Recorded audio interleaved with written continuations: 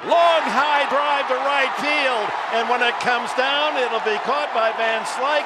Venable can walk home. What a rally. The Padres win it 6 to 5.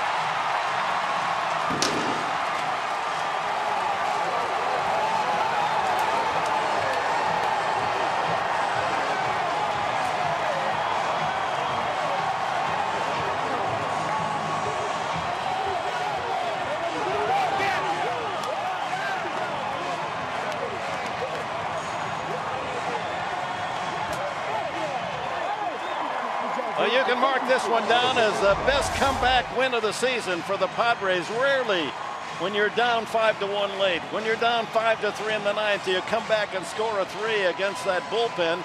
Rated one of the best in the major leagues, and Venable sees it go deep, and he knows he's got the winner.